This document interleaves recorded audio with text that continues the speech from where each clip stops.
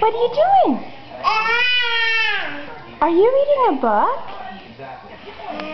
Yeah, you like your books, don't ya?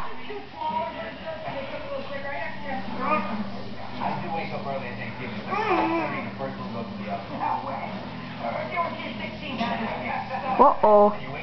He almost fell over. Almost fell over.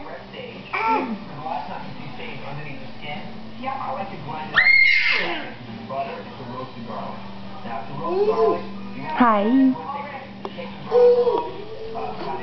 You gonna come crawl and see mommy?